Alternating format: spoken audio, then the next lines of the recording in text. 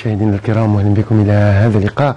هبوب رياح قوية عاتية على الواجهه الشماليه الغربيه والوسطى. ستقل حدتها خلال هذه الليلة على الواجهه الغربيه لكن على المناطق الوسطى ستستمر إلى غاية يوم الغد إن شاء الله مع قدوم اضطراب الجوي أما خلال يوم الغد مصلحة الأرصاد الجوية ضمن التيارات الجنوبية غربية مضطربة على شمال الوطن وحتى على مناطق الجنوب الغربي ننتظر اضطراب جوي سيكون نشيط الفعالية أمطار على شكل زخات رعدية معتبرة على المرتفعات والهضاب الوسطى والغربية لتلتحق على المناطق الوسطى تحت وقع الرعود وكذلك الساحلية الغربية.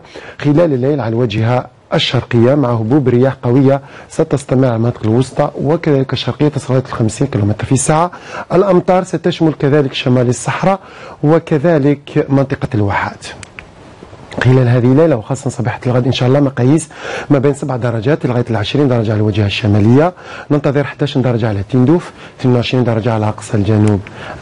خلال ظهيره الغد تراجع محسوس لدرجة الحرارة تقريبا على كافة المناطق الشمالية خاصة الوسطى والشرقية لن تتعدى 17 درجة على العاصمة 11 درجة على المرتفعات والهضاب لكن تبقى مرتفعة الوجه الساحلية الشرقية لتصل لغاية 27 درجة كأعلى مقياس تقريبا نفس المقياس على ولاية تامن رست لكن أعلى مقياس على أقصى الجنوب مع 33 درجة.